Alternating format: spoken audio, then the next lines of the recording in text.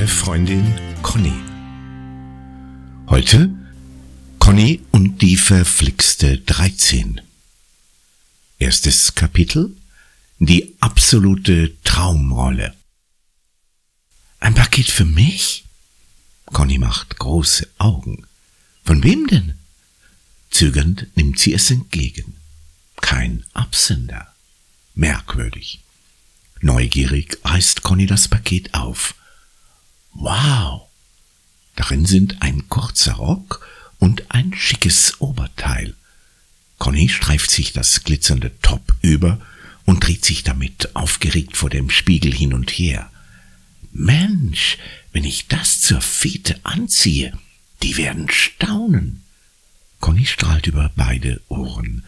Dann schaltet sie wieder auf Knopfdruck das Lächeln ab, geht einen Schritt vor und verbeugt sich tief. Bravo! Mama, Papa und Oma klatschen begeistert in die Hände, und selbst Jakob applaudiert. Also, wenn du das beim Vorsprechen genauso machst, hast du die Rolle, meint Papa stolz. Na klar, das glaube ich auch, sagt Oma sofort. Ich freue mich schon so auf die Aufführung. Ich weiß nicht. Conny seufzt. Es wäre zu schön, wenn Papa und Oma recht hätten. Die anderen üben doch alle wie verrückt, murmelt sie. Kein Wunder, schließlich will jede die Hauptrolle. Wie auch immer, Hauptsache du machst überhaupt mit. Mama zwinkert ihr aufmunternd zu. Ich finde es jedenfalls toll, dass du Theater spielen willst. Das habe ich in der Schule auch gemacht. Und? Hast du eine Hauptrolle bekommen? fragt Conny. Mama schüttelt den Kopf. Nein, aber es hat mir trotzdem richtig Spaß gemacht. Glaub mir. Conny nickt. Trotzdem würde sie am allerliebsten Aschenputtel spielen, ihre absolute Traumrolle. Es ist nicht das Aschenputtel aus dem Märchen, zumindest nicht so ganz. In der Theater AG haben sie das alte Märchen nämlich umgeschrieben, so wie es sich heute vielleicht zutragen würde. Aschenputtel ist nicht die ungeliebte Stieftochter, sondern die neue in der Klasse, die von allen gehänselt wird, bis sie dann auf einer Schulfete der beliebteste Junge der Klasse in sie verliebt. In ihrem Zimmer blättert Conny noch einmal in dem selbstgeschriebenen Theaterstück. Hm, der Schluss mit dem sich verlieben wird sicher ein bisschen peinlich. Aber das kriege ich schon hin, denkt Conny, und sie übt schon mal einen schmelzzarten Augenaufschlag. Naja, Hauptsache, es spielt nicht gerade einer von den ganz blöden Jungen dem Prinzen. Ihre Lieblingsszene ist die, die sie gerade vorgespielt hat. Aschenputtel will eigentlich gar nicht zum Schulfest. Sie hat auch gar nichts Passendes zum Anziehen. Dann klingelt es plötzlich an der Tür. Sie bekommt überraschend ein Paket mit tollen Klamotten für die Fete, und sie weiß nicht von wem. Dann gibt es noch einen Auftritt, in dem Aschenputtel die alte, verschobene Nachbarin besucht. Sie heißt Frau Mira und kann Wahrsagen. Sie schaut in eine Kristallkugel und prophezeit Aschenputtel, dass sie nicht nur die Fete, sondern überhaupt alles gut wird. Aschenputtel glaubt natürlich nicht daran, Zumindest nicht so richtig. Conny überlegt, wie sie das am besten spielt. Einerseits glaubt Aschenputtel nicht wirklich an Frau Miras Prophezeiung.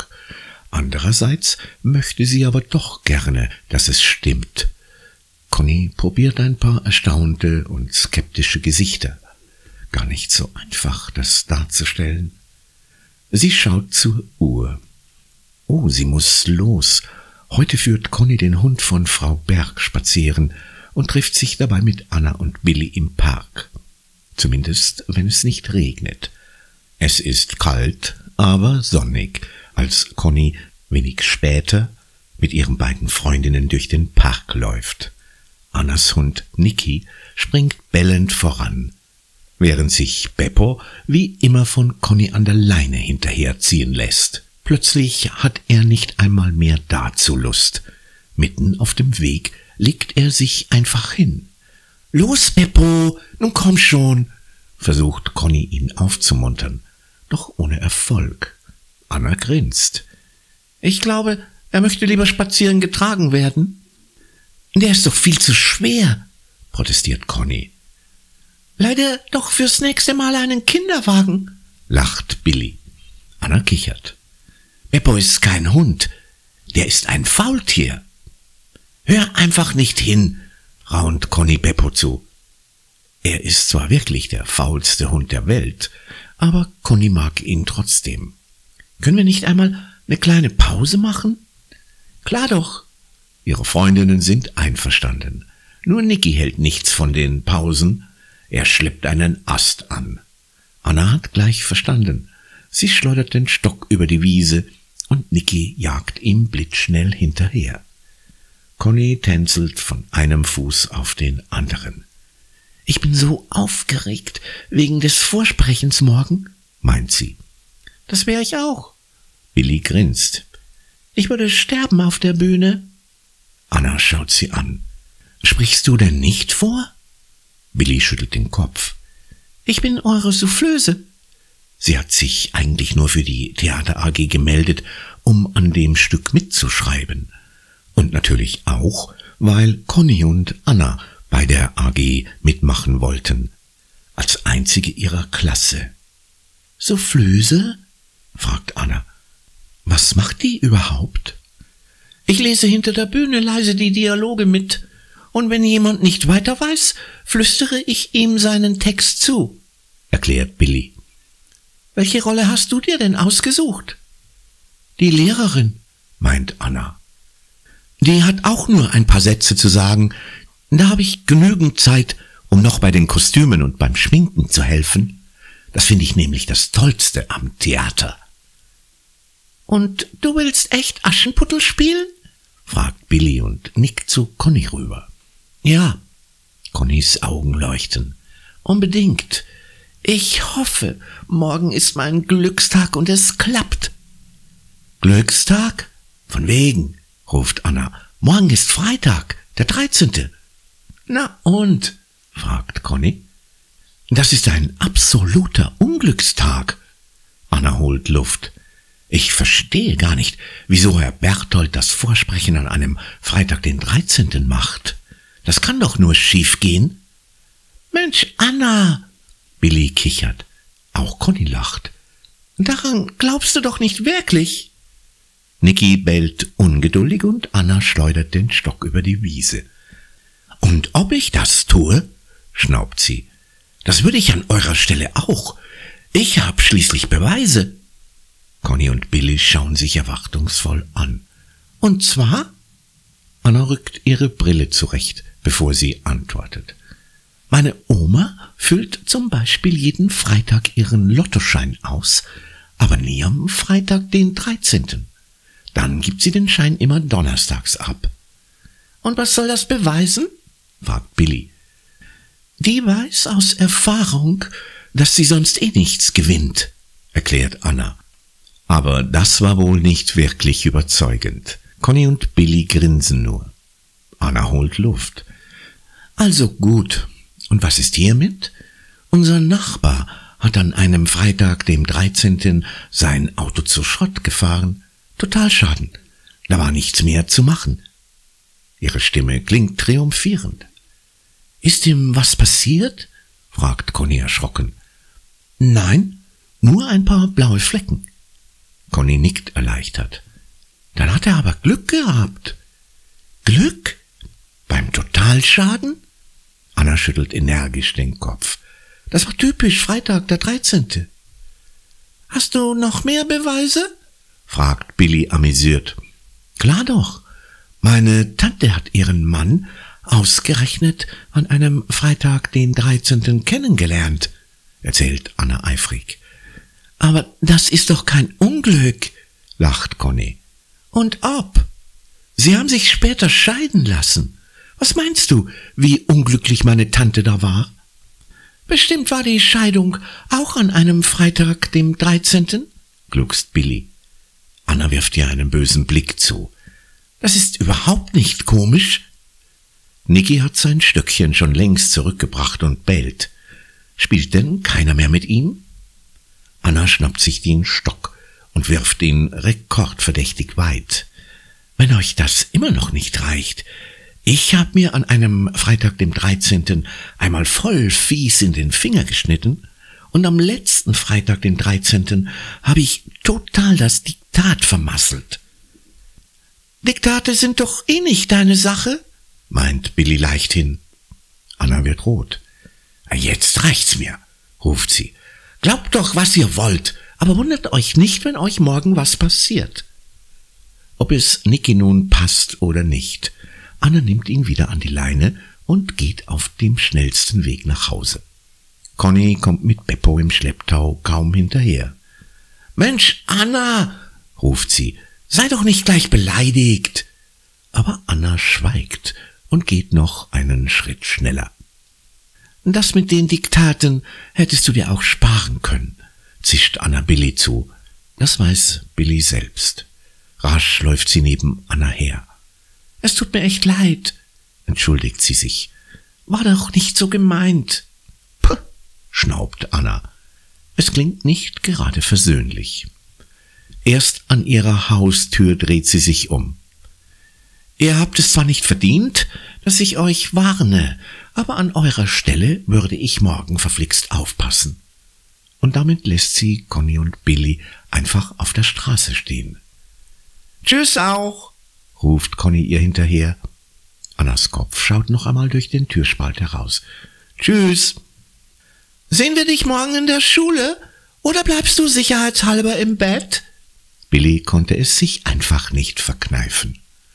Annas Augen werden zu schmalen Schlitzen, und im nächsten Moment knallt sie die Tür zu.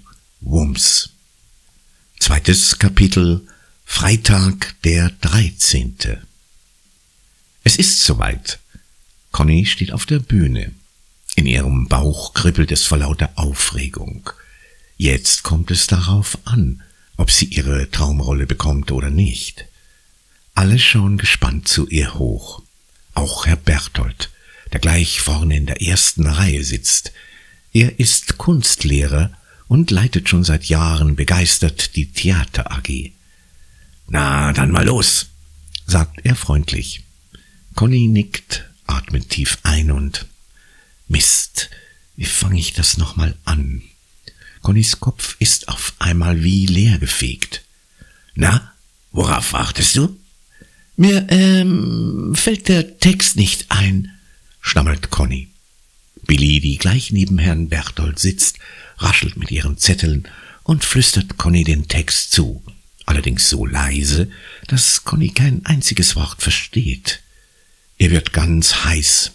Ihr Kopf muss rot wie eine Tomate sein. Wie bitte? murmelt sie verlegen.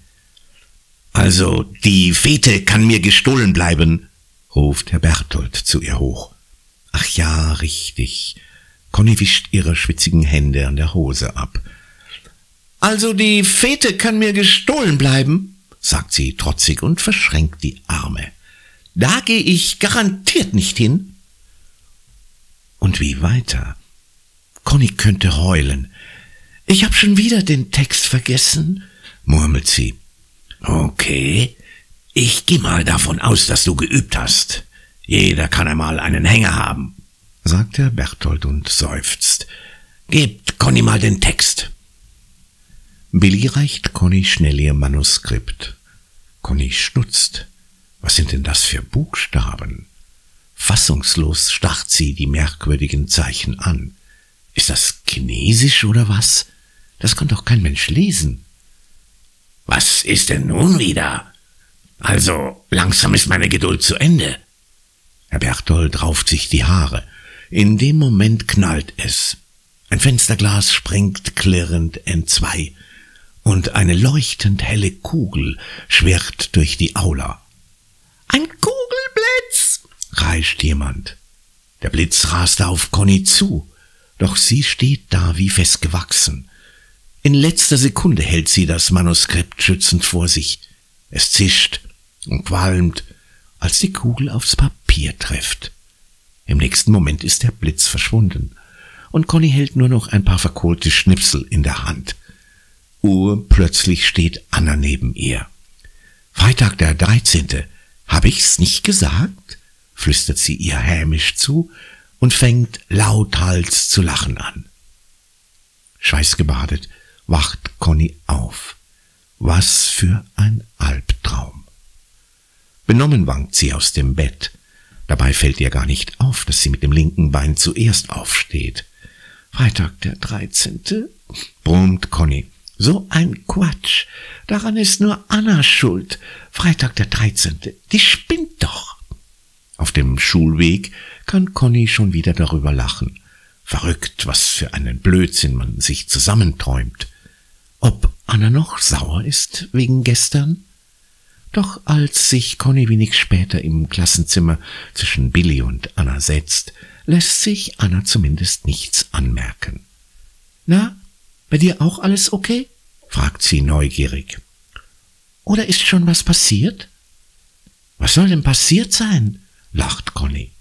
Ist dir vielleicht ein Meteorit auf den großen Zeh gefallen? fragt Billy. Oder hat dich der Blitz getroffen? Ein Blitz? Conny muss noch einmal an ihren Albtraum denken. Doch dann lacht sie. Ach was. Und bei dir, Anna? Annas Lippen werden schmal. Noch ist alles in Ordnung. Conny klopft ihr auf die Schulter. Dabei wird's auch bleiben, garantiert. Und wirklich, Conny behält recht. Nichts passiert. Nicht das geringste. Eigentlich schade, denkt Conny heimlich. Mit etwas Pech und Hokuspokus wäre der Vormittag sicher viel spannender geworden.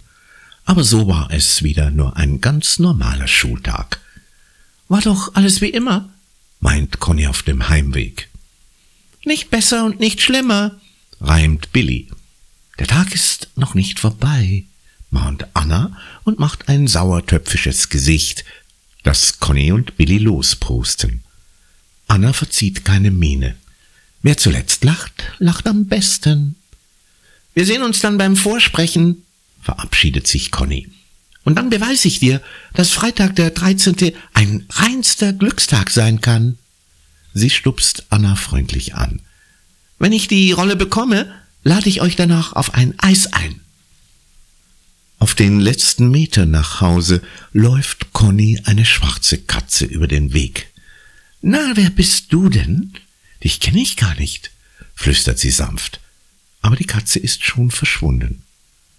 Nach dem Mittagessen hat Conny gerade noch Zeit, ihre Rolle ein letztes Mal zu üben, bevor um drei das Vorsprechen in der Schulaula beginnt. Ohne Mama zu fragen, hängt sie den großen Garderobenspiegel ab und lehnt ihn im Wohnzimmer gegen das Bücherregal. Sie will einfach nur einmal überprüfen, ob auch alles wirklich echt aussieht.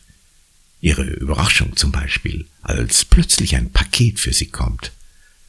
Ein Paket? Für mich? Conny reißt die Augen auf. Nein, das war's nicht. Gleich noch einmal. Ein Paket? Conny starrt in den Spiegel. Sie sieht eher aus wie ein Neandertaler, der zum ersten Mal ein Hochhaus sieht. Vielleicht sollte sie nicht ganz so dick auftragen. Ein Paket? Conny stutzt. Für mich? Ja, so könnte das klappen. Conny atmet tief durch und probt die ganze Szene noch einmal. Und was sie im Spiegel sieht, gefällt ihr diesmal. Ein Paket? Für mich? Und von wem denn? Conny macht einen ausladenden Schritt nach vorne, um das Paket entgegenzunehmen. Doch ihr Schritt war wohl etwas zu groß. Plang! Der Spiegel kracht zu Boden und zerspringt in tausend Scherben. Oh nein! Wie benommen steht Conny vor dem Scherbenhaufen. Schon stürmt Mama ins Wohnzimmer. Ist was passiert? Sie bleibt abrupt stehen. Mein Spiegel! Mama ist ganz blass. Den habe ich mir als Studentin gekauft. Das Prachtstück meiner ersten eigenen Wohnung. Mama geht die Luft aus. Es tut mir so leid, stammelt Conny. Wirklich? Ausgerechnet mein Lieblingsspiegel, murmelt Mama. Vorsichtig richtet sie den schweren Spiegel auf. Die letzten Scherben regnen auf den Teppich.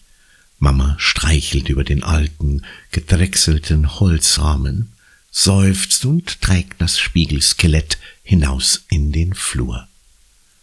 Du weißt ja, was du zu tun hast, sagt sie noch, ohne sich umzudrehen. Schuldbewusst holt Conny den Handfeger aus der Besenkammer. Sie fühlt sich hundsmiserabel. Hätte sie diesen verflixten Spiel doch nie von der Wand genommen. Nun landet eine Ladung Scherben nach der anderen im Mülleimer. Sie muss sich beeilen. In fünf Minuten muss sie los. Conny ist gerade fertig, als Mama noch einmal zur Tür hineinschaut. Saug sicherheitshalber noch einmal nach, sagt sie, damit auch die ganz kleinen Splitter weg sind. Kann ich das nicht später machen? fragt Conny. Mama schüttelt den Kopf. Aber ich komm sonst zu spät, ruft Conny. Wir auch, sagt Mama, die Jakob zum Turnen bringt. Aber die Splitter müssen weg. Denk an Kater Mau. Stimmt. Conny seufzt. Natürlich darf sich Mau nicht in die Pfote schneiden. Also holt sie rasch noch den Staubsauger. Stecke rein. Conny saugt wie eine Wilde. So, fertig. Schnell stellt sie den Sauger zurück in den Besenschrank. Bevor sie geht, wirft sie noch einen letzten Blick ins Wohnzimmer. Alles bestens oder? Nein, da funkelt noch eine allerletzte Scherbe unter dem Schrank. Conny bückt sich und schnappt sie sich. Autsch! Blitzschnell ist der Finger im Mund. Jetzt hat sie sich noch an dieser blöden Scherbe geschnitten. So ein Mist. Conny rast also noch einmal hoch ins Badezimmer, um ein Pflaster zu holen. Inzwischen ist es Punkt drei. Das Vorsprechen geht los, und sie kommt sowas von zu spät. Conny springt die Treppe hinunter. Draußen steigt sie aufs Rad und saust los.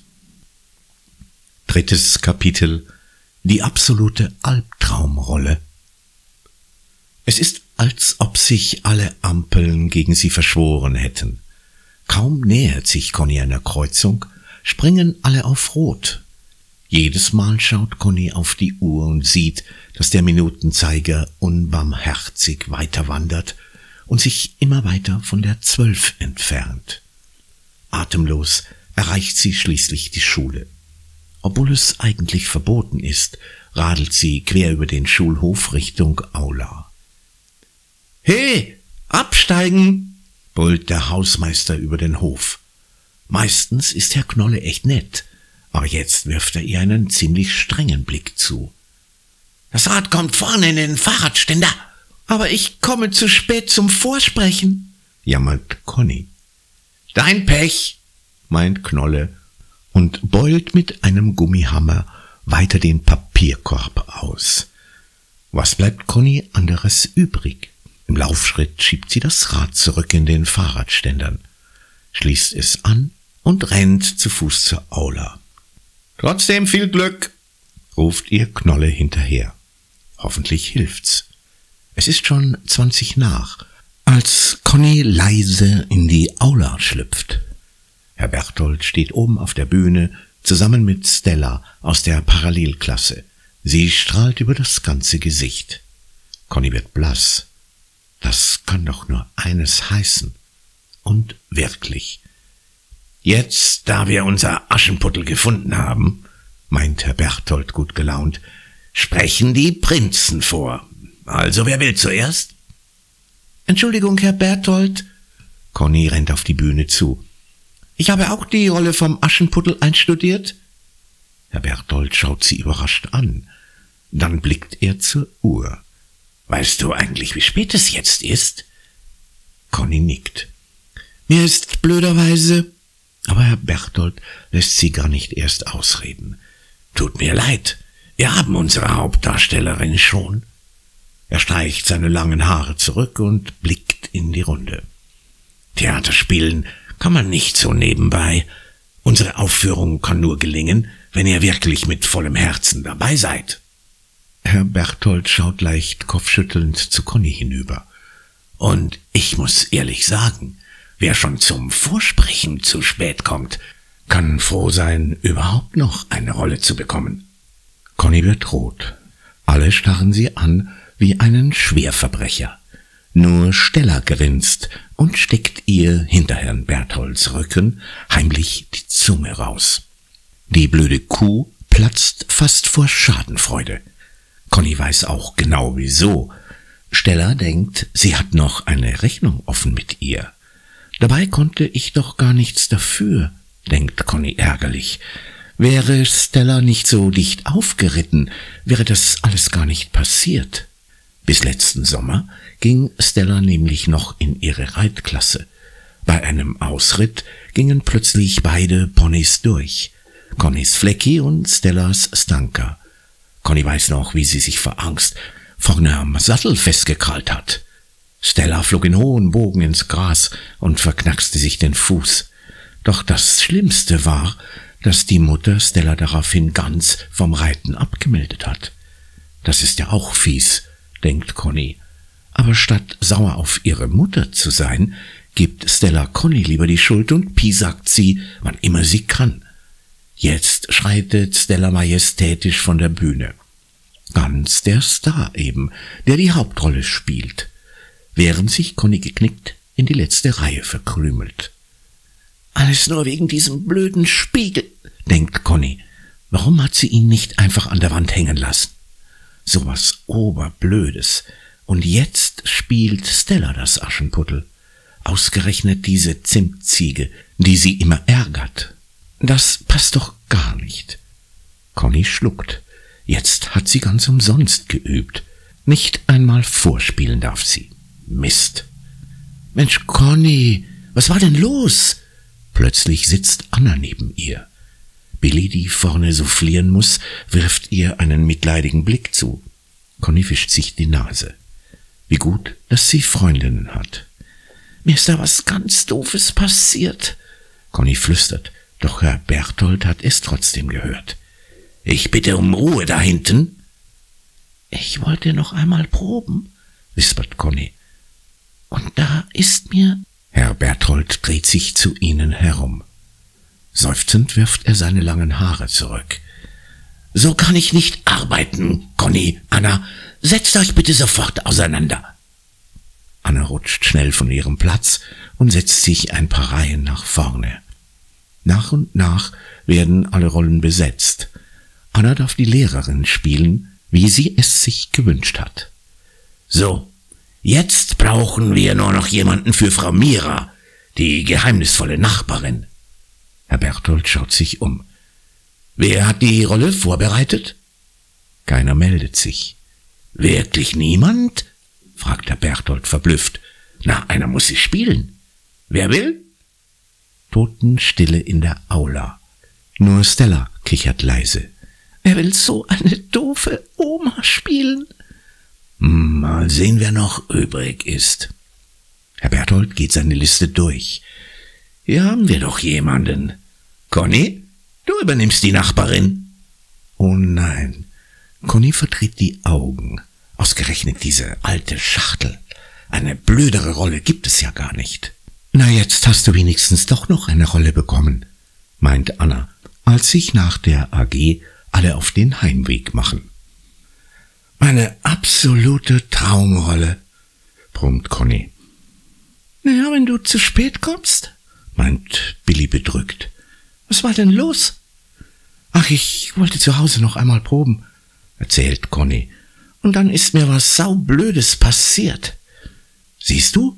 mischt sich Anna ein. Freitag der 13. bringt nichts als Unglück. Du mit deinem blöden Freitag dem 13. faucht Conny. Mir ist so ein doofer Spiegel zerbrochen. Das ist alles. Anna wird blass. Dir ist ein Spiegel zerbrochen? Ja, da staunst du, sagt Conny. Scherben bringen doch angeblich Glück. Und was habe ich jetzt davon? Die allerletzte Mistrolle.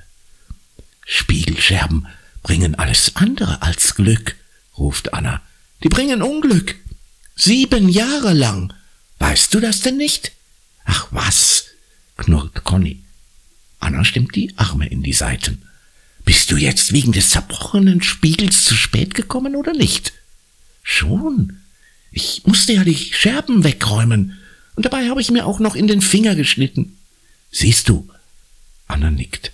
Und dann hast du deine Rolle nicht bekommen. Sie legte den Arm um Conny. Glaub mir, das geht jetzt immer so weiter. Was? ruft Conny entsetzt. Das kann doch auch nicht einfach Zufall sein, gibt Billy zu bedenken. Glaubst du? fragt Anna gedehnt. Wieso nicht? Billy zuckt mit den Schultern. Wir werden ja sehen, sagt Anna zum Abschied. Es klingt wie eine Drohung.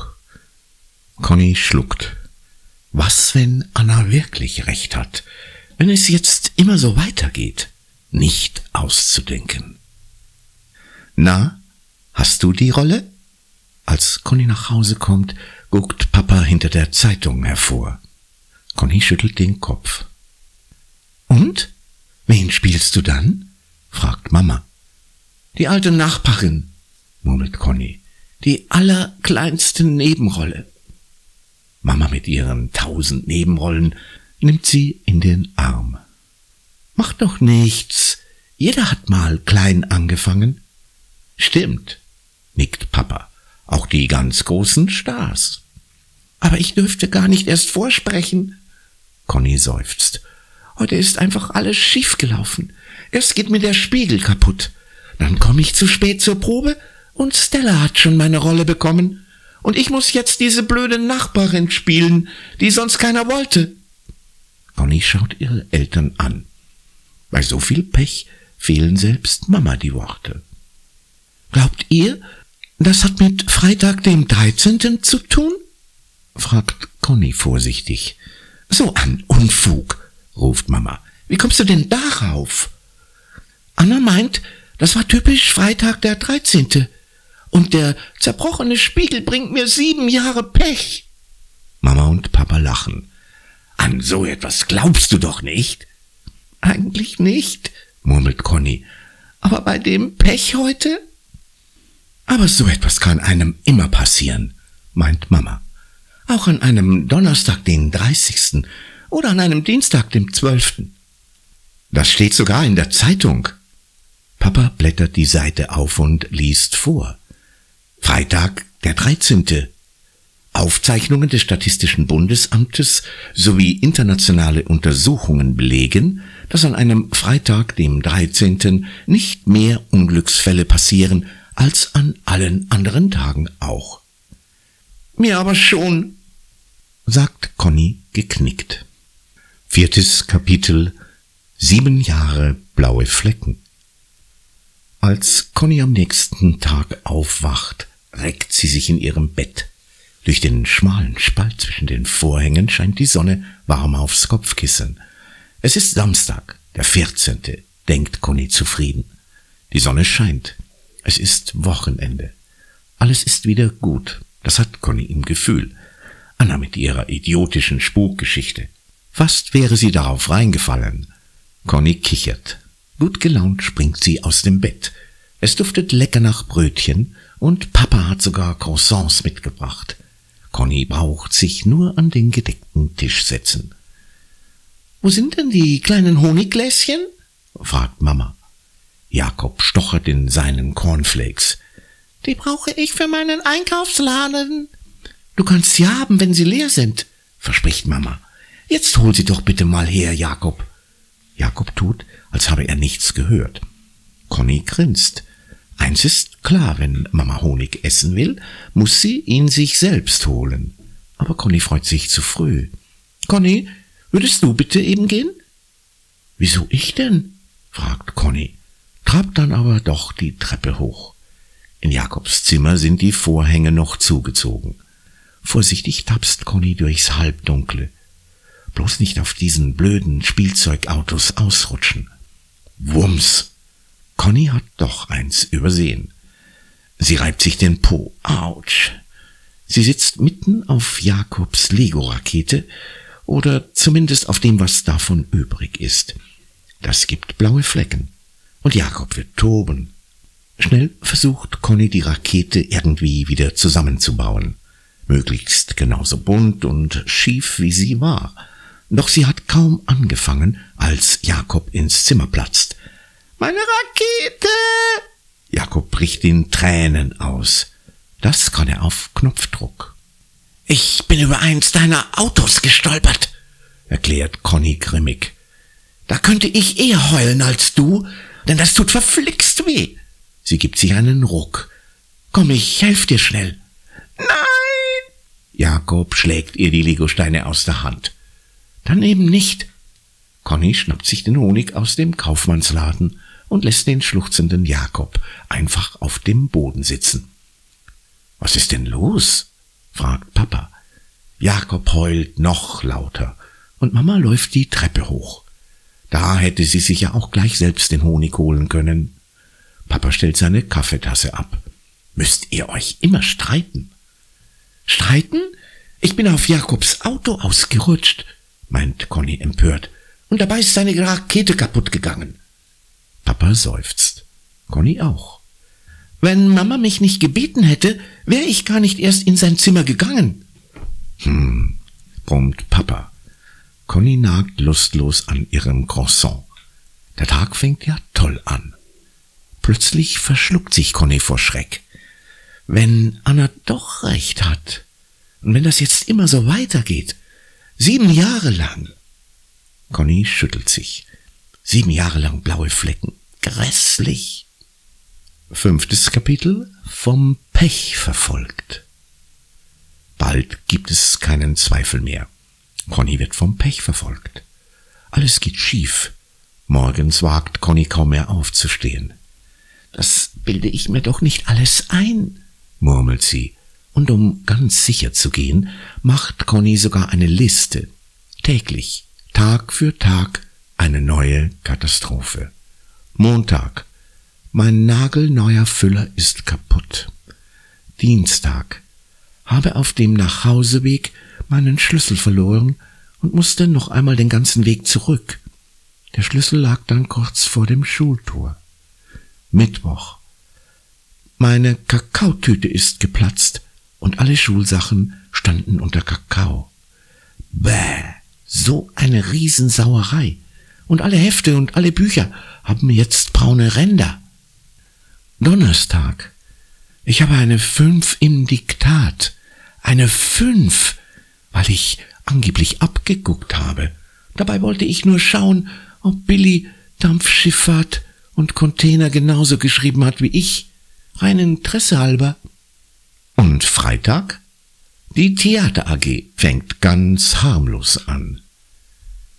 Wieder und wieder wiegten wogende Wellen, wagemutige Walrosse. Herr Berthold lässt jeden Buchstaben auf der Zunge zergehen.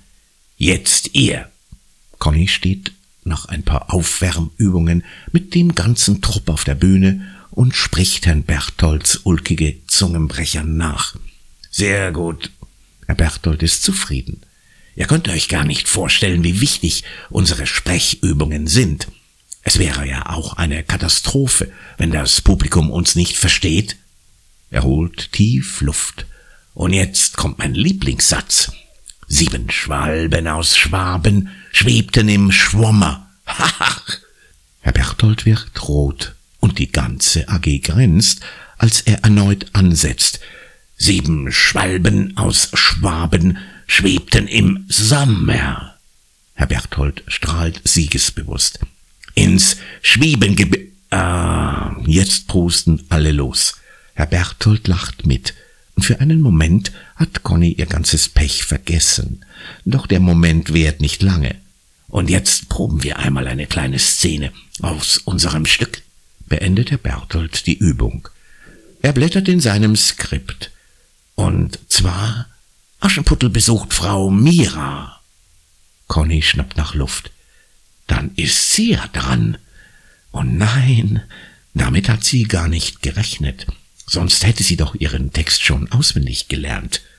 Warum fängt Herr Berthold ausgerechnet mitten im Stück an und nicht vorne, wo es sich gehört? Conny beißt sich auf die Lippen. Sie muss es Herrn Berthold beichten. Du kannst deinen Text noch nicht? Herr Berthold ist fassungslos. Also wisst ihr, Ich mache die AG hier in meiner Freizeit. Wenn ihr keine Lust habt, dann lassen wir es eben. Klar haben wir Lust. Wir wollen das unbedingt. Wir anderen können doch unseren Text, rufen alle durcheinander und werfen Conny böse Blicke zu. Die würde am liebsten im Erdboden versinken und nie, nie wieder auftauchen. Nächstes Mal kann ich's, haucht sie. Herr Berthold seufzt. Wir proben die Szene trotzdem, meint er dann. Die paar Sätze wirst du dir ja wohl aus dem Stegreif merken können. Conny möchte lieber sterben, aber was hilft's? Tapfer klettert sie auf die Bühne. Ihre Beine sind weich wie Wackelpudding und ihre Stimme. Was ist bloß mit ihrer Stimme los? Sie bekommt kaum einen Ton heraus. Noch einmal etwas lauter. Denk an die Sprechübungen, bittet Herr Berthold. Deine Stimme muss bis in die letzte Reihe zu hören sein. Du kriegst ja nicht mal diese mickrige Minirolle hin, zischt ihr Stella leise zu. Connys Gesicht glüht vor Zorn. Halt doch die Klappe, du blöde Kuh, würde sie am liebsten schreien, wohl artikuliert, damit es auch wirklich jeder versteht. Stattdessen ringt sie sich den richtigen Text ab. Was für eine nette Überraschung. Das ist mir zu hölzern, Conny. Probier's noch einmal, ruft Herr Berthold dazwischen. Was für eine nette Überraschung, flötet Conny. Nicht gleich übertreiben. Herr Berthold lacht. Tja, ja nicht so einfach, Theater zu spielen. Er klatscht in die Hände. Also noch einmal alles von vorne. Stella klingelt bei Frau Mira an der Tür. Ein Stöhnen geht durch die Zuschauereien. Nicht schon wieder. Auch Conny will nicht mehr. Es ist ein Albtraum, aber einer, aus dem man nicht erwacht. Conny verhaspelt sich und bringt ihre Sätze durcheinander, was bei dem bisschen Text beinahe schon ein Kunststück ist. Aber sie reißt sich zusammen. Was ist denn los? Du siehst so traurig aus, fragt sie. Stella seufzt und fasst sich an die Stirn, wie eine Hoheit mit Kopfweh. Es ist wegen der Klassenfete, stöhnt sie. Die wird bestimmt schrecklich. Glaubst du wirklich? Ich kann dir sagen, wie es wird, antwortet Frau Mira. Mit Hilfe von Billy. Conny geht zum Tisch. Der Fußball darauf soll ihre Kristallkugel sein. In dem Moment, in dem sie sich setzt, kullert der Ball vom Tisch, rollt quer über die Bühne und springt in den Zuschauerraum. Alles bricht in Lachen aus. Nur Conny könnte heulen. Als Herr Berthold endlich eine Pause macht, ist sie mehr tot als lebendig. Fünf Minuten, ruft er. Und dann kommt die Szene beim Schulball dran. Conny steht immer noch wie benommen auf der Bühne. Vielleicht sollte sie sich für die nächsten sieben Jahre einfrieren lassen. Plötzlich steht Stella vor ihr. Ich frage mich echt, was du in der AG zu suchen hast. Conny schluckt. Jede Kellerassel spielt besser als du. Und du wolltest Aschenputtel spielen? Ausgerechnet du in der Hauptrolle? Stella grinst sie hämisch an. Eigentlich schade, dass du nicht mehr vorsprechen dürftest. Es gibt ja sonst so wenig zu lachen. Bevor Conny etwas sagen konnte, schubst Stella sie zur Seite. Mach mal Platz und lern gefälligst deinen Text. Nicht, dass du mich bei der Aufführung noch rausbringst mit deinem Gestotter. Aber Conny fehlen die Worte. Plötzlich saust Billy auf die Bühne und hält Stella auf. Nur weil du zufällig die Hauptrolle ergattert hast, musst du dich noch lange nicht so aufspielen. Komisch, das ist gar nicht Billys Art. Conny starrt sie verwundert an. Dabei fällt ihr auf, dass Billys Tigerhose ziemlich kurz geworden ist. Sie muss gewachsen sein, obwohl sie natürlich immer noch die kleinste in der Klasse ist. Stella guckt Billy kaum an. Wer spricht denn mit mir? meinte sie von oben herab. Wäre Conny nicht zu spät gekommen, hättest du die Rolle gar nicht erst gekriegt, faucht Billy. Ist sie nicht süß, wie sie sich so aufregt? Stella grinst Conny breit an und schreitet hoheitsvoll von der Bühne. Warum hast du denn nichts gesagt? fragt Billy atemlos. Conny zuckt mit den Schultern. Du lässt dir doch sonst nichts bieten. Schon, murmelt Conny.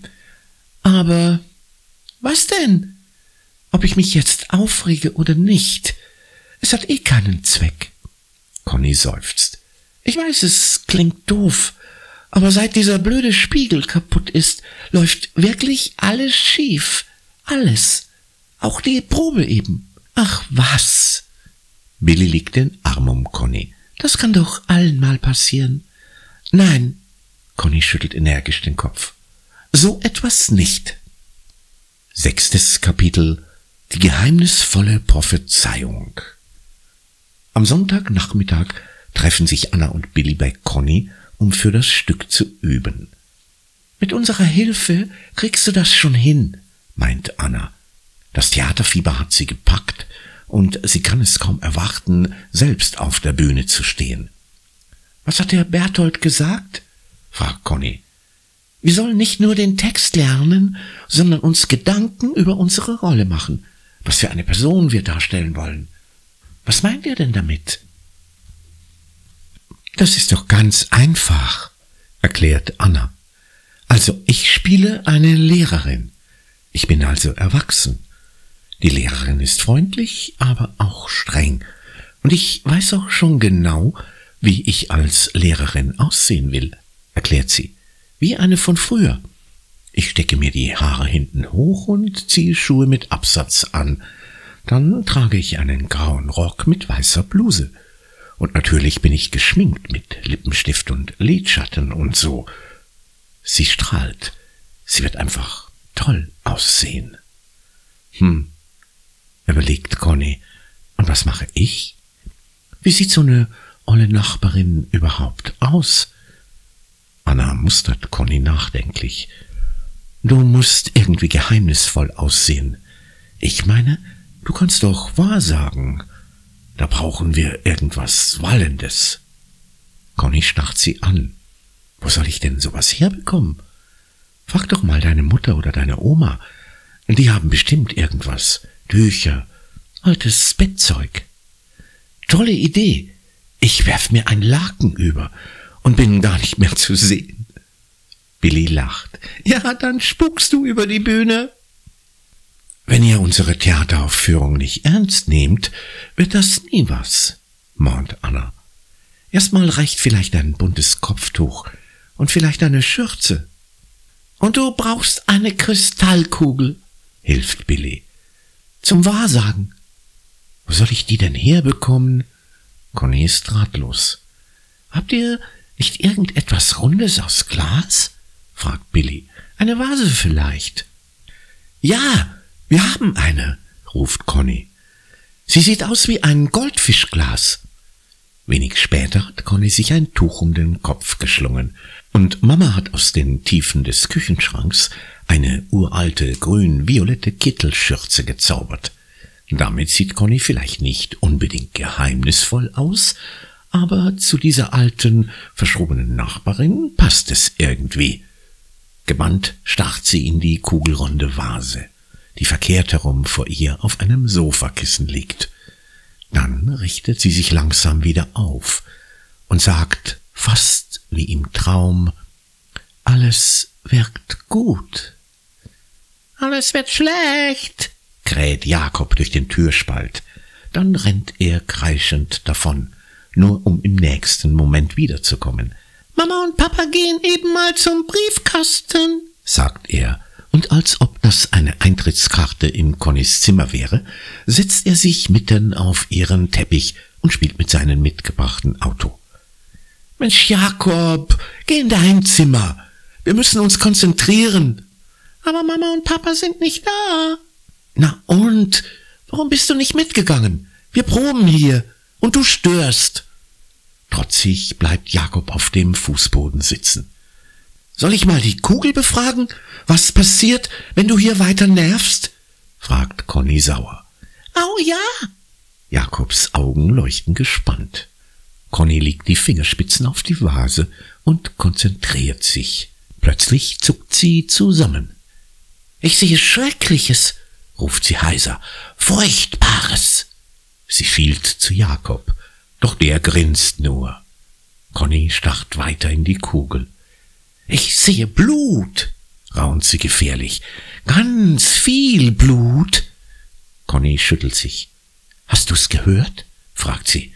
Ich an deiner Stelle würde lieber mal in dein Zimmer gehen, bevor hier noch ein Unglück passiert. Doch Jakob bleibt sitzen, schiebt mit der einen Hand sein Auto und bohrt mit dem Zeigefinger der anderen Hand in der Nase. Sowas kann auch nur er. Oh Mann, oh! Ärgerlich springt Conny auf. Im selben Moment fängt Jakob an zu schreien. Aus seiner Nase läuft Blut, rinnt über den Mund und tropft vom Kinn. Billy kramt sofort ein Taschentuch aus ihrer Hosentasche und versucht das Nasenbluten zu stoppen. Im Nu ist das Taschentuch rot.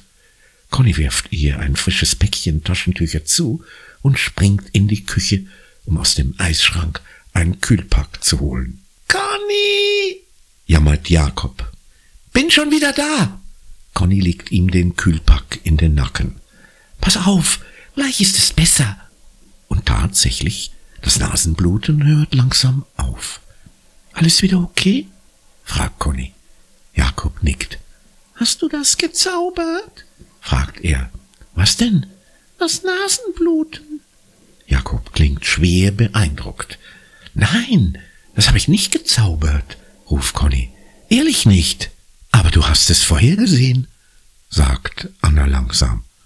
Du hast gesagt, ich sehe Blut. Viel Blut. Das habe ich mir doch nur so ausgedacht, verteidigt sich Conny. Das denkst du nur. Anna schaut sie bewundernd an. Du sprichst vom Blut und schwupps hat er Nasenbluten. Das kann kein Zufall sein. Merkwürdig ist es schon, murmelt Billy. Jetzt hört mal auf zu spinnen, ruft Conny ärgerlich. Was Anna sagt, macht ihr Angst. Wäre sie dann nicht schuld an Jakobs Nasenbluten? Das wollte sie doch wirklich nicht. Sag einfach noch etwas voraus, schlägt Anna vor.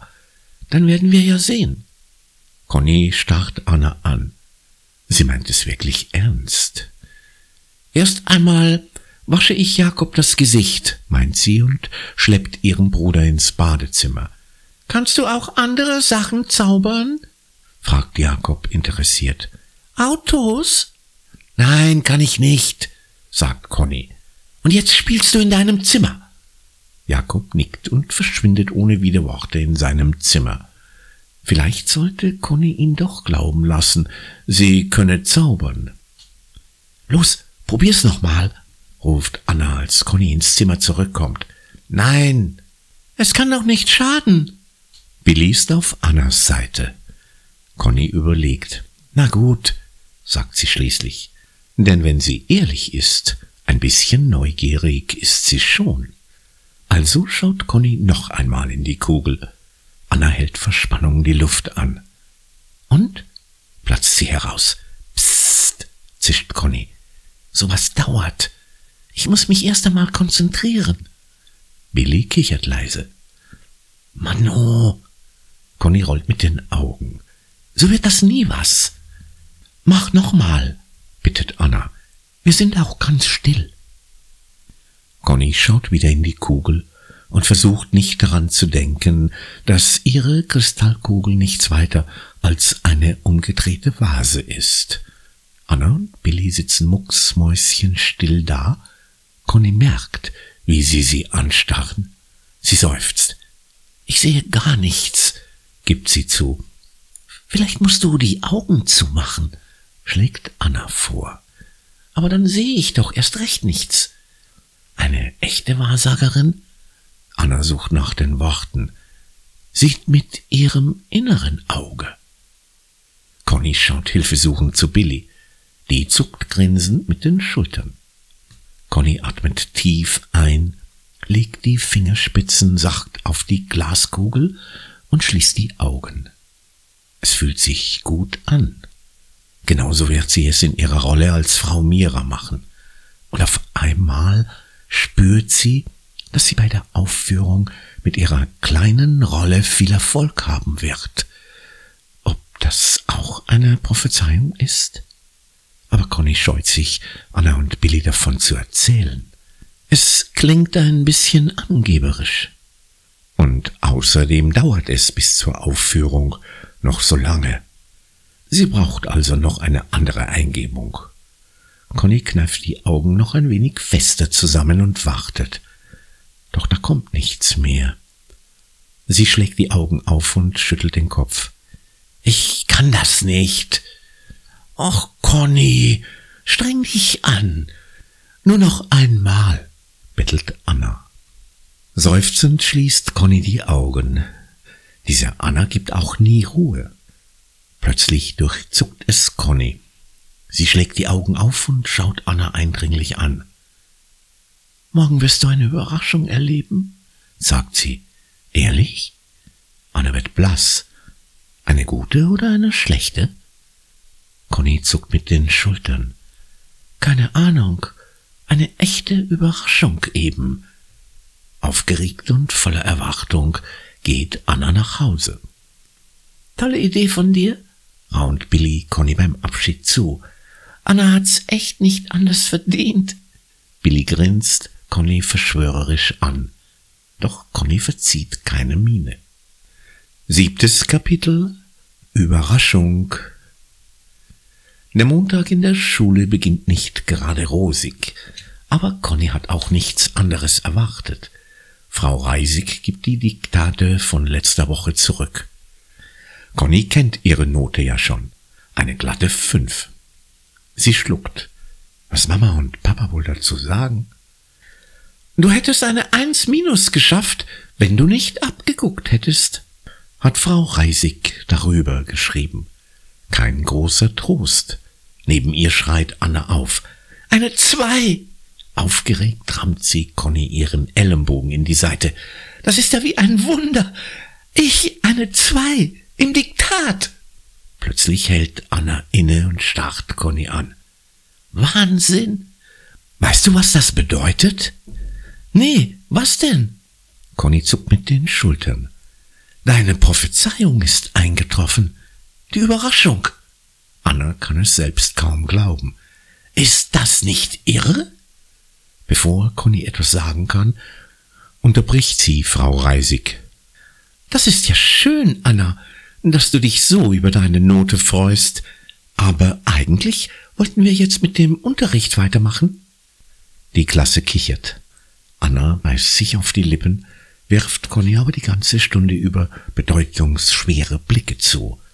Kaum gongt es, ist sie nicht mehr zu halten. Conny, du kannst es, du kannst hell sehen. Ach was, brummt Conny.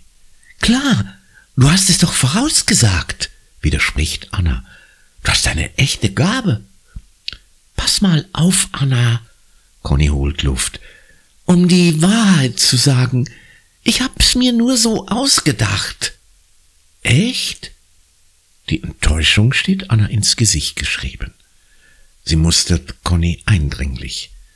Man hört förmlich, wie es in ihrem Kopf rattert. Dann lächelt Anna triumphierend. Ich glaube, Du denkst bloß, du denkst es dir aus. In Wirklichkeit ist es eine Eingebung. Conny und Billy blicken sich an und prusten im selben Moment los. Doch Anna lässt sich nicht aus dem Konzept bringen. Da braucht er gar nicht so zu lachen. Schließlich ist genau das, was Conny sich ausgedacht hat, auch eingetroffen. Billy grinst immer noch. Mit viel gutem Willen vielleicht. Auch noch am Nachmittag ist Anna von ihrer Theorie felsenfest überzeugt.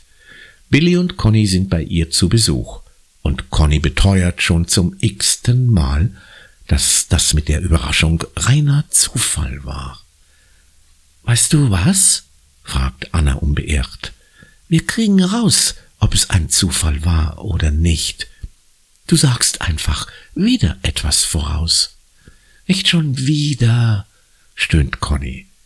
Außerdem hast du hier gar keine Kristallkugel. Na und? Es gibt noch andere Methoden, die Zukunft vorauszusagen. Zum Beispiel. Anna überlegt kurz. Aus dem Kaffeesatz zu lesen, kichert Billy. Ja, richtig.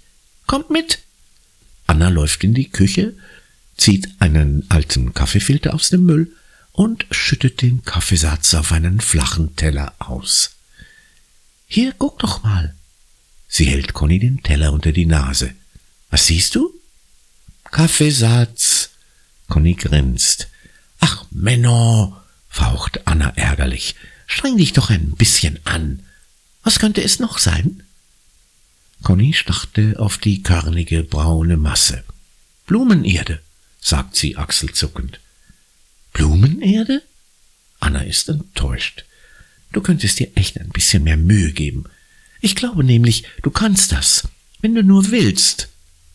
Anna zuliebe konzentriert sich Conny noch einmal, schließt die Augen, schlägt sie wieder auf. Das Einzige, was mir dazu einfällt, ist, Anna starrt sie gebannt an. Blumenerde.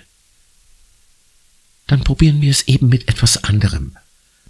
Anna muss gar nicht lange nachdenken. Ich hab neulich im Fernsehen was über Orakel gesehen. Da haben die Leute so kleine Stöckchen geworfen und daraus die Zukunft gelesen. Anna, das könnten wir doch wenigstens noch versuchen. Schon schnappt sie sich ihre Jacke und läuft raus in den Garten. Niki springt schwanzwedelnd um sie herum, als sie eifrig Stöckchen zusammenklaubt. Aber Anna hat gar nicht vor, mit ihm zu spielen. Stattdessen drückt sie Conny alle Hölzchen in die Hand. Wirf sie auf den Boden, schau, wie sie liegen, und sag uns dann, was dir dazu einfällt. Conny stöhnt. Lässt Anna denn nie locker? Also gut, einmal noch. Conny lässt die Stöckchen einfach auf den Boden fallen. Sofort schnappt sich Niki eins davon und rennt weg. Niki, was fällt dir ein? Gib es sofort wieder. Aber Niki denkt gar nicht daran. Anna seufzt. Es geht bestimmt auch so. Also, an was denkst du, wenn du dir die Stöcke so ansiehst? An Mikado, sagt Conny. Mikado? Anna strahlt. Oh ja, lasst uns Mikado spielen. Das habe ich lange nicht mehr gemacht. Und ich habe richtig Lust dazu. Du willst doch jetzt nicht Mikado spielen, um dann zu behaupten, Conny hätte es vorausgesehen, dass wir heute Mikado spielen? fragt Billy fassungslos. Wieso denn nicht?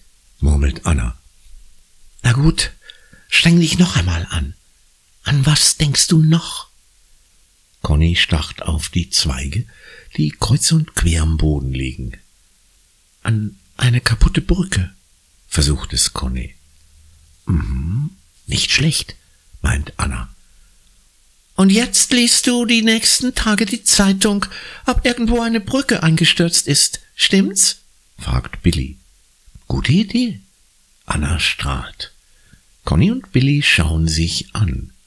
Anna ist echt nicht zu helfen. Nicky kommt mit seinem Stöckchen angelaufen. Wer spielt denn nun mit ihm? Er muss nicht lange warten. Schon schleudern Conny, Billy und Anna das Brückenorakel Ast für Ast über die Wiese. Es ist fast Abendbrotzeit, als Conny nach Hause geht. Auf halbem Weg saust plötzlich etwas haarscharf an ihrer Schulter vorbei und kracht auf dem Boden. Ach du liebe Güte, ist wer verletzt?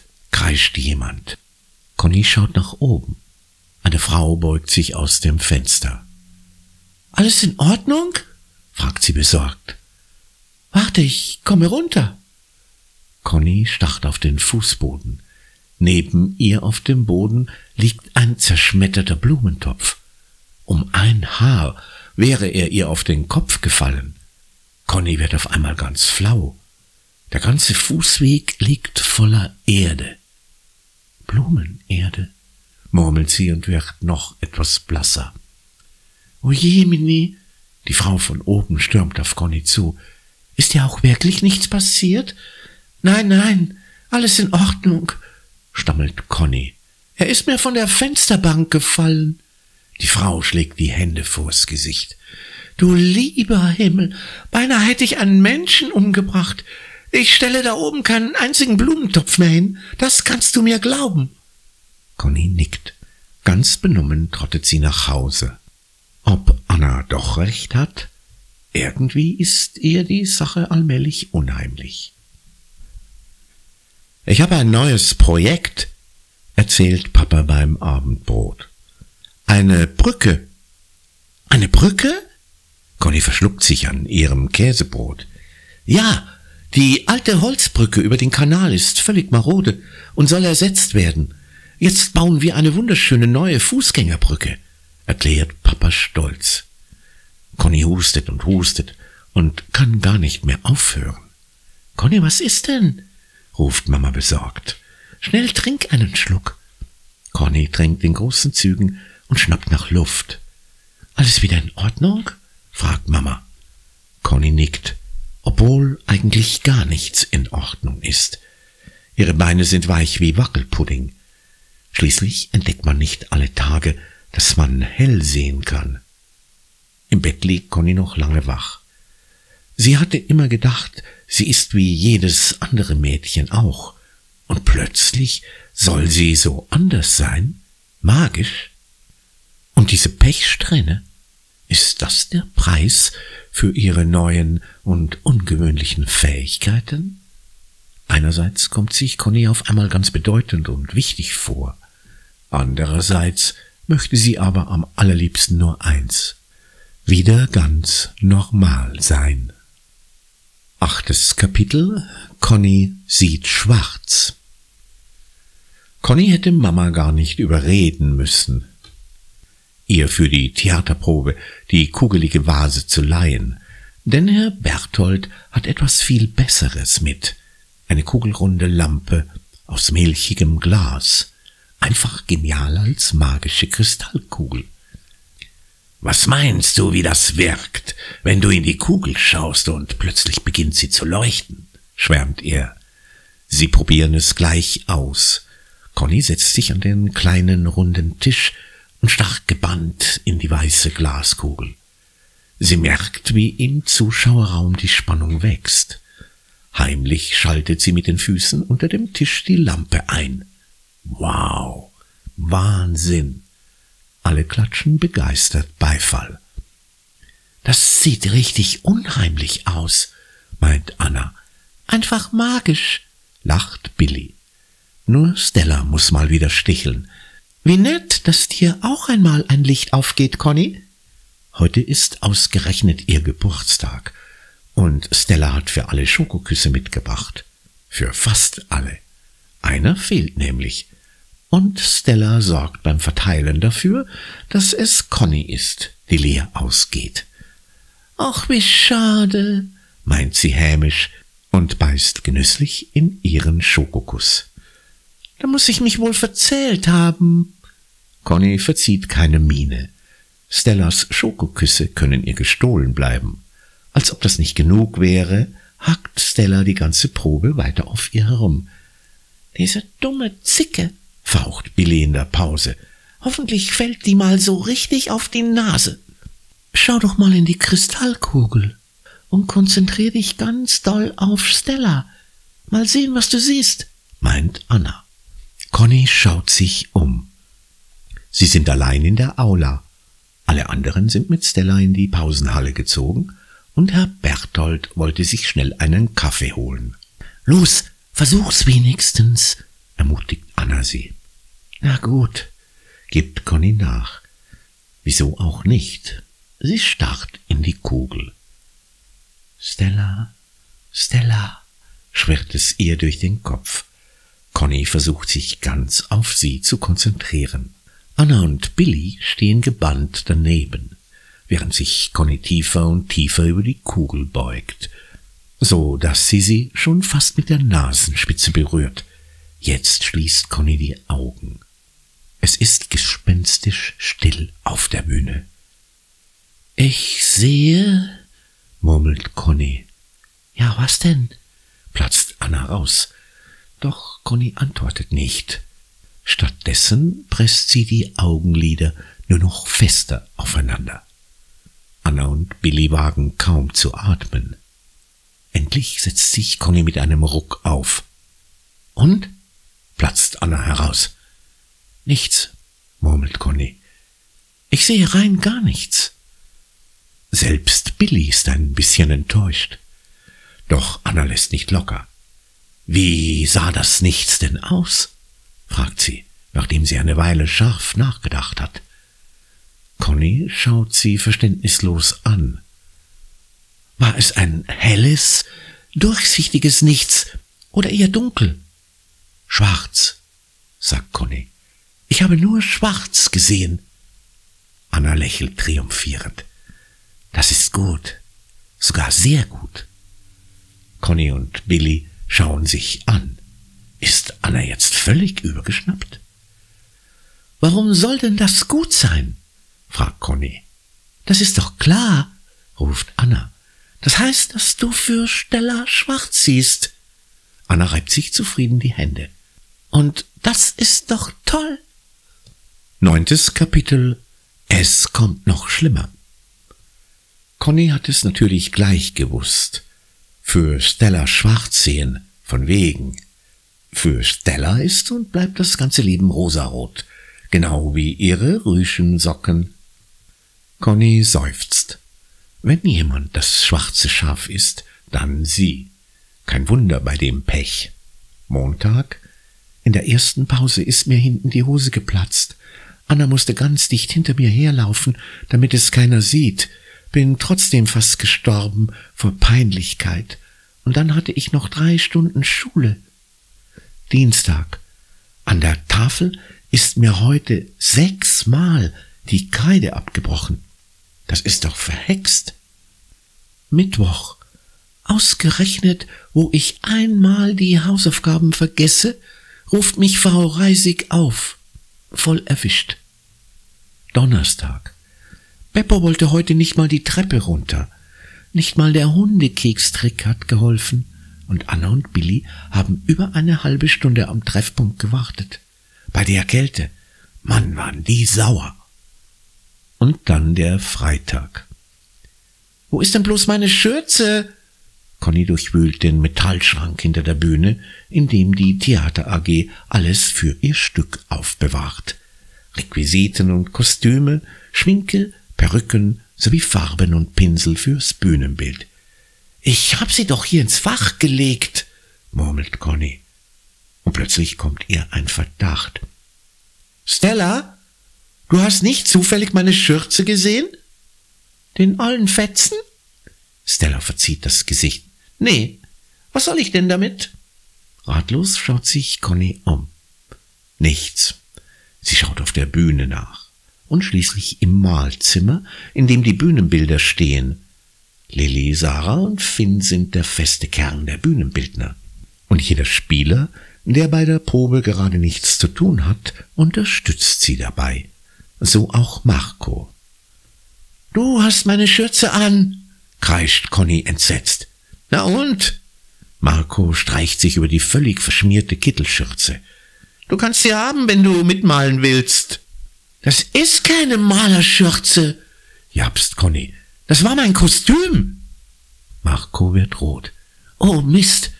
Es tut mir aber leid. Ich hoffe, die Farbe geht raus. Das hoffe ich auch, zischt Conny. Aber viel Hoffnung hat sie nicht. Bevor die Schlieren rausgehen, fällt die fadenscheinige Schürze eher auseinander. Als ob das noch nicht schlimm genug wäre, trommelt Herr Berthold am Ende der Probe noch einmal alle zusammen. Ich muss wirklich sagen, ihr macht eure Sache ausgezeichnet.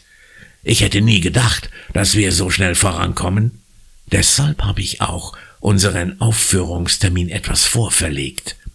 Die Premiere ist jetzt schon am 13. Oh nein, ruft Anna. Alle schauen sie an. Hast du Einwände? fragt der Berthold überrascht. Das ist ein Freitag. Freitag der dreizehnte, platzt Anna heraus. Ich gehe mal nicht davon aus, dass ihr abergläubisch seid, meint Herr Berthold amüsiert. Oder? Er schaut Anna mit hochgezogenen Augenbrauen an. Äh, nein, murmelt sie. Alle kichern, außer Conny. Am Freitag, den dreizehnten, das geht bestimmt schief. Sie will etwas sagen, aber sie hat solch einen Kloß im Hals, dass sie kein Wort herausbekommt. Was würde es auch nützen? Die anderen würden sie eh nur auslachen. Also, Freitag der 13. um 16 Uhr, bestätigt Herr Berthold. Sagt euren Eltern, Freunden und Verwandten Bescheid. Sie dürfen alle kommen. Das wird eine Katastrophe, jammert Conny, als alle nach draußen strömen. Anna nickt stumm. Ach was, sagt Billy.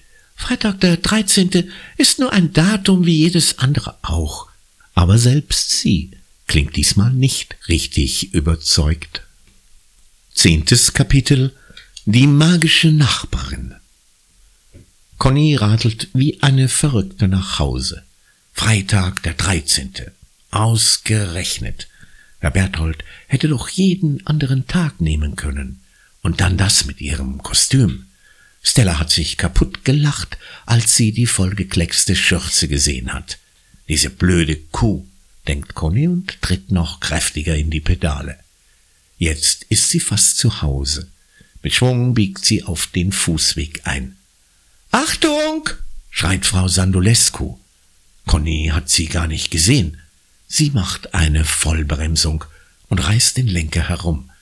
Haarscharf schlittert sie an ihrer Nachbarin vorbei, erwischt allerdings deren Einkaufstasche, die im hohen Bogen durch die Luft fliegt.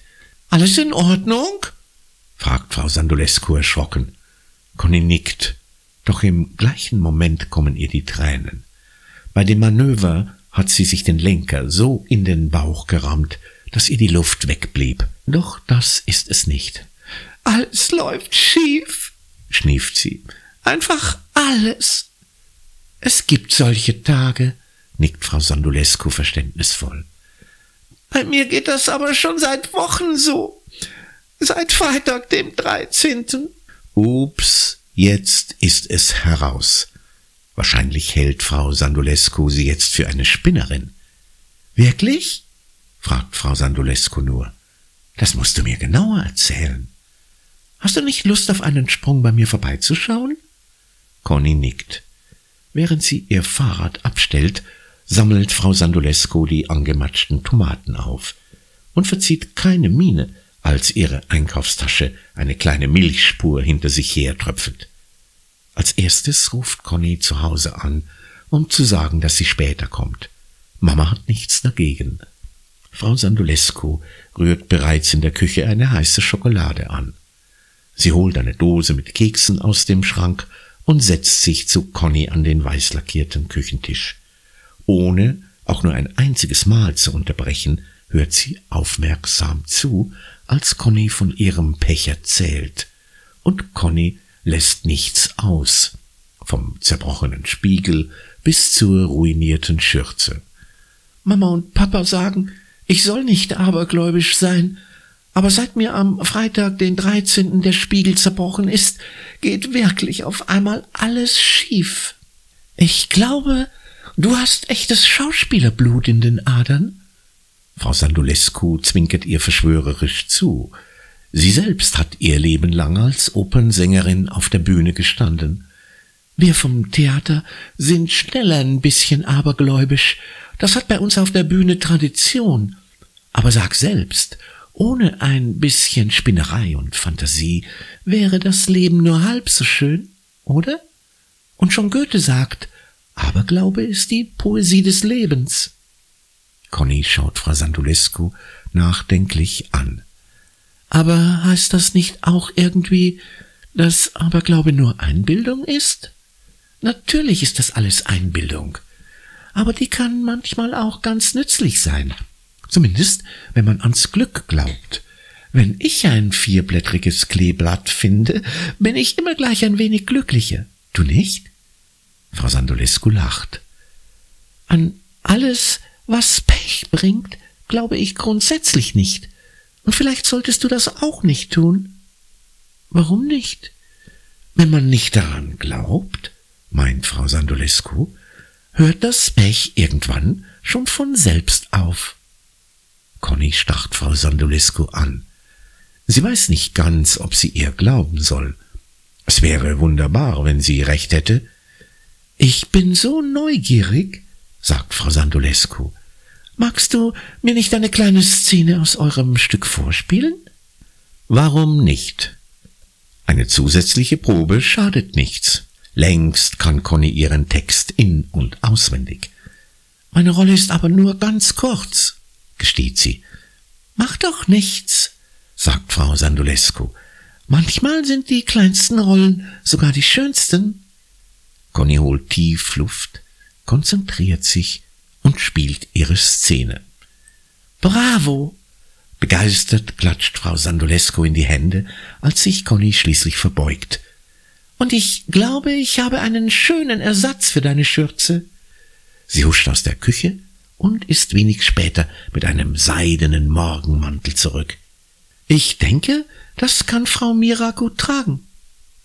Oh ja, danke. Conny ist begeistert. Der Mantel ist zwar etwas weit, aber tausendmal besser als die alte Schürze. Staunend streicht sie über den glänzenden Stoff. Die Seide ist so gewebt, dass die Farbe zwischen Grün und Silber changiert. Ein zauberhaftes Kostüm für die geheimnisvolle Frau Mira.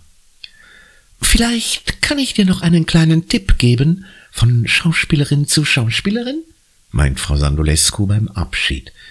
Wenn du auf der Bühne stehst, darfst du nicht Frau Mira spielen, sondern du musst Frau Mira sein, mit Haut und Haar. Für zehn Minuten bist du 68 Jahre alt und hast eine magische Gabe. Conny nickt. Ich probier's, meint sie, obwohl sie wirklich nicht weiß, wie sie es anstellen soll. Elftes Kapitel Schon wieder Freitag der dreizehnte. Conny ist ganz flau, als sie aufwacht. Es ist soweit. Es ist wieder Freitag, der dreizehnte. Am liebsten würde Conny den ganzen Tag im Bett bleiben. Das wäre das sicherste. Aber dann schaut Mama ins Zimmer. Guten Morgen, trällert sie gut gelaunt. Aufstehen, Conny! Mit dem rechten Fuß zuerst, ermahnt sich Conny. Ein guter Rat von Anna, ja nicht mit dem linken aufstehen. Conny geht auf Nummer sicher. Sie will den Tag schließlich nicht noch schlimmer machen. Doch dann versucht sie daran zu denken, was Frau Sandulescu gesagt hat. Nicht an das Pech glauben. Gar nicht so einfach. Aber es hilft ihr dabei, am Vormittag über die Runden zu kommen. Als Conny von der Schule nach Hause kommt, hängt in der Garderobe wieder Mamas heißgeliebter Spiegel. Ich habe einen neuen Spiegel in den Rahmen setzen lassen, erklärt Mama zufrieden. Sieht aus wie vorher, findest du nicht? Conny nickt und überlegt, ob es nicht vielleicht ein gutes Zeichen ist, dass ausgerechnet heute der Spiegel wieder ganz heil ist. Aber sie hat kaum Zeit darüber nachzudenken. Gleich nach dem Mittagessen muss sie zur Schule, denn vor der Premiere gibt es noch jede Menge zu tun. Sie tragen zusätzliche Stühle in die Aula, bauen das Bühnenbild für die erste Szene auf, testen Beleuchtung und Musikanlage. Herr Berthold macht noch ein paar Lockerungsübungen und ein allerletztes Sprechtraining. Siebzehn Schlangen schlängeln sich sacht, züngeln und zeigen zischend ihre Zähne. Conny bekommt den Satz vor Aufregung nicht ein einziges Mal ohne Fehler hin, na, das kann ja heiter werden. Doch Herr Berthold lacht nur. Wird schon schief gehen. Also, toi, toi, toi. Nun schlüpfen alle schnell in die Kostüme. Halt doch mal still! Nachdem Anna schon reichlich lila Lidschatten aufgetragen hat, versucht sie nun Connys Wimpern schwarz zu tuschen. Man darf doch wohl noch zwinkern dürfen. Jetzt nicht, meint Anna entschieden. Oder willst du wie ein Panda-Bär aussehen? So, bin schon fertig. Conny schaut in den Spiegel. Anna hat ihre Sache nicht schlecht gemacht. Ihre Augen sehen viel größer aus, dunkler und irgendwie geheimnisvoll. Langsam füllt sich der Zuschauerraum. Oma und Opa sind mit die Ersten und halten Stühle für Mama, Papa und Jakob frei. Als Conny um kurz vor vier noch einmal durch den Vorhang linst, ist die ganze Aula bis auf den letzten Platz besetzt. Dann beginnt der erste Akt. Conny ist erst im zweiten dran. Aufgeregt tigert sie hinter der Bühne hin und her. Dabei muss sie die ganze Zeit über an das Krippenspiel vom letzten Weihnachtsfest denken. Conny schluckt. Das war vielleicht ein Albtraum. Sie musste als Weihnachtsengel nur ein einziges Lied vorsingen und hat es total vermasselt. Sie stand da wie doof und wusste den Text nicht mehr. Conny wird ganz schlecht. Was, wenn sie gleich wieder ihren Text vergisst? Und zum ersten Mal ist sie froh, dass sie nun doch nicht die Hauptrolle spielt. Dann ist es soweit. Die Bühne wird mit wenigen Handgriffen in Frau Miras Zimmer umdekoriert. Der Vorhang geht auf. Conny sitzt auf ihrem Stuhl, in der Hand das Strickzeug von Frau Mira und versucht nicht an all die vielen Leute im Zuschauerraum zu denken. Als es klingelt, steht sie auf schlurft zur Tür und öffnet. Stella macht einen Knicks. Guten Tag, Frau Mira, sagt sie brav. Was für eine nette Überraschung, ruft Conny. Komm doch herein. Beide setzen sich. Eigentlich wäre jetzt noch einmal Conny dran, aber Stella kommt ihr zuvor. Ach, Frau Mira, hätten Sie wohl ein paar Kekse für mich? Was? Conny starrt Stella fassungslos an. Kekse? Das steht doch gar nicht im Text. Was soll denn das? Stella grinst schadenfroh. Das macht sie mit Absicht. Sie will Conny nur rausbringen. Hinter der Bühne wispert Billy Connys Text. Was ist denn los? Du siehst so traurig aus. Aber das passt doch jetzt gar nicht schnell. Conny muss sich selbst etwas ausdenken. Mit einem Mal fällt ihr Frau Sandulescu ein. Ab jetzt ist Conny nicht mehr Conny, sondern nur noch die alte Frau Mira. Sie beugt sich etwas vor. Meine Ohren sind so schlecht. Ich hab dich gar nicht so recht verstanden. Jetzt gerät Stella ins Schwimmen, denn sie hat ihren Satz fast schon vergessen. Äh, die Kekse, fällt ihr wieder ein. Ich habe gefragt, ob Sie Kekse haben. Ach, das tut mir aber leid, sagt Frau Mira. Was sonst? Hätte ich gewusst, dass du kommst, hätte ich welche gebacken. Stella schaut sie an. Ratlos. Sie braucht ihr Stichwort, um weiterzumachen. Jetzt hat sie sich selbst hineingeritten. Conny lässt sie ein wenig zappeln. Soll sie doch auch mal etwas improvisieren? Doch Stella bleibt stumm. Conny gibt sich einen Ruck. Schließlich will sie das Stück nicht ruinieren. Was ist denn los? Du siehst so traurig aus, fragt sie, buchstabengetreu, wie es im Dialog steht. Ach, seufzt Aschenputtel. Ich, äh, ich. Jetzt hat sie selbst ihren Text vergessen. Stellas Wangen leuchten rosarot. Billy wispert Stella ihren Text zu. Lauter, zischt Stella. Die Leute im Publikum schmunzeln. Es ist wegen der Klassenfete, die wird bestimmt schrecklich, tönt es hinter dem Vorhang. Stellas Wangen sind nun tomatenrot. Es ist wegen der Klassenfete, leiert sie ihren Text herunter. Die wird bestimmt schrecklich. Glaubst du wirklich? fragt Frau Mira. Ich kann dir sagen, wie es wird. Frau Mira schlurft über die Bühne. Die alte Frau setzt sich an den Tisch, hält die Fingerspitzen an die Glaskugel und schließt die Augen.